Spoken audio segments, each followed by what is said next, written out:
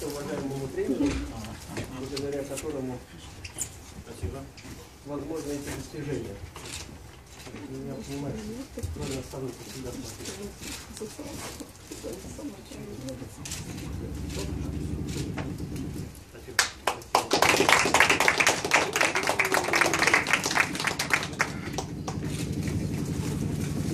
Карл Талис, председатель Нарского городского собрания.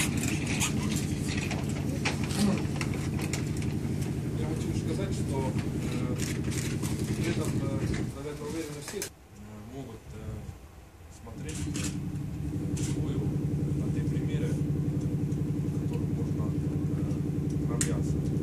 И я хочу сказать, что, как Эдуард уже сказал, мы все будем держать кулаки. Эти дни, когда будут проходить Олимпийские игры, будут самое ответственное, самое почетное соревнование.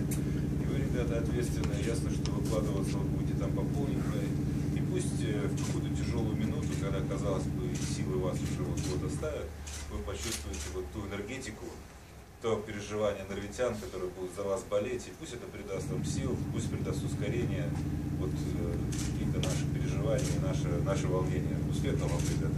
Спасибо. Уверены у вас и ждем хорошего, высокого результата.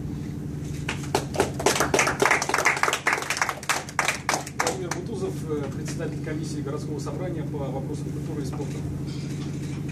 Я хотел бы пригласить Ларису сюда. Лариса Владимировна.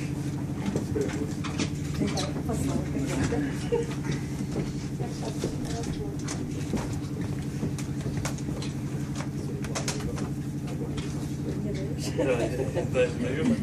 Э, Я хотел бы зачитать, мы вот с Борисой решили э, такое напутственное письмо вам э, от городских властей, от э, спортивной общественности, от всех горожан. Дорогие Дарья и Денис, вся Нарва с особым волнением ждет вашего выступления на зимней Олимпиаде в Сочи.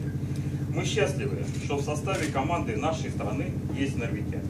Поэтому перед началом ответственных соревнований хотим пожелать вам здоровья, удачного старта, счастливого финиша, отличного настроения, зоркости, боевого духа. А также заверяем, что будем за вас болеть и переживать. Будем с вами правильно дышать и бежать. Будем точно э, э, смотреть прицел и попадать в мишень. Постараемся повлиять на погоду. Вот э, такое э, приветствие. И здесь приложены, э, конечно, мы не пытались собрать все подписи, э, все подписи наших горожан, но тем не менее они вам позволят э, ну, э, как, как-то э, пом- а, да, помнить, что вот за вас болеют, э, за вами следят э, в хорошем смысле и э, вам желаю только э, хороших результатов. Победы вам! Спасибо.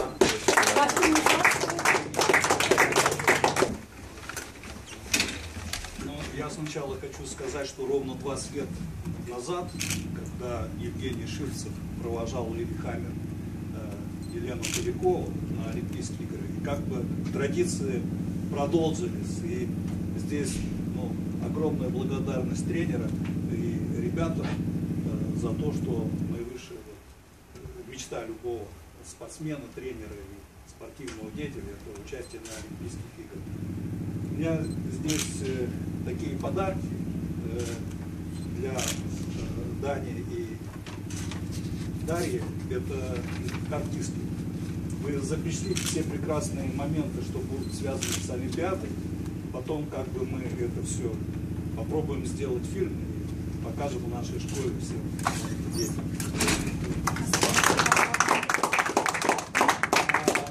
тренеру, чтобы он держал кулаки, ну, конечно, должен обязательно быть у него стакан.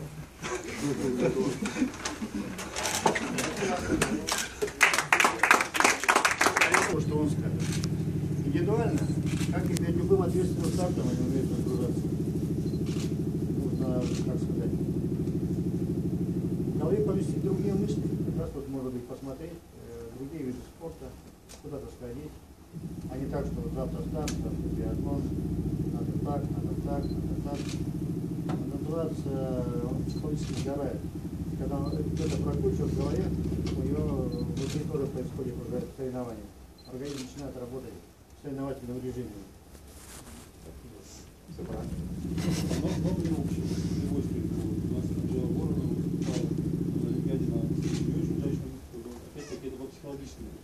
Здесь я могу сказать только одно, что в практике биатлона э, очень много примеров, когда сложные город приходят к биатлону, а со стрельбы лично ни разу не было. Этим все сказано.